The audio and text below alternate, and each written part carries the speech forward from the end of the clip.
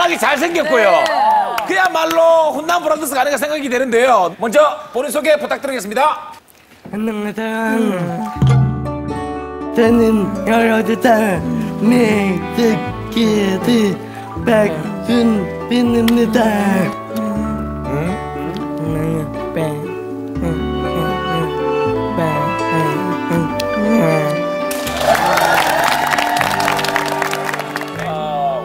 주인공은 사실 소리를 들을 수 없는 청각 장애를 가진 형제입니다. 여러분들 그 전혀 모르셨죠? 예. 근데 말이죠, 그 제 기억으로는 우리 장수현 씨가 영화 도가니에서 네. 수화 통역사로 나오신 걸로 제가 알고 있는데 우리 두 친구들한테 수화로 좀 인사를 좀 해주실 수 있을까요? 안녕하세요. 네, 제가 수화를 아주 전문적으로 할 수는 없지만 조금은 가능합니다. 네. 잘하시는데요? 아니, 아니, 잠시만요. 수현 씨.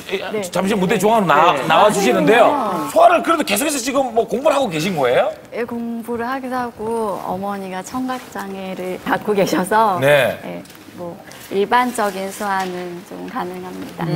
어,